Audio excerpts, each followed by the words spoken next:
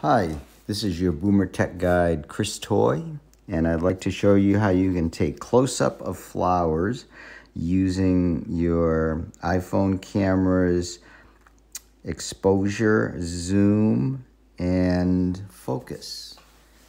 So here's a little flower, and let's go with the zoom here. If I just pinch and spread my fingers here like this, you can see I can zoom right into this part of the flower nicely. If I tap and hold, I can lock in the focus. So that's going to stay in focus now.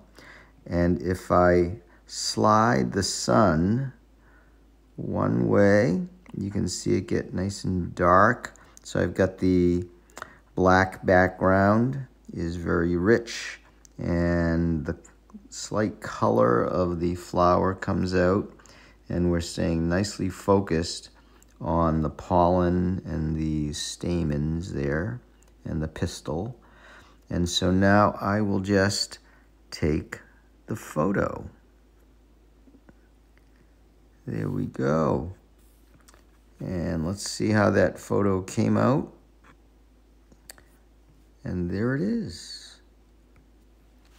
Using our zoom, our focus, and our exposure. Check out our website at boomertechadventures.com and you can find our Facebook and our YouTube.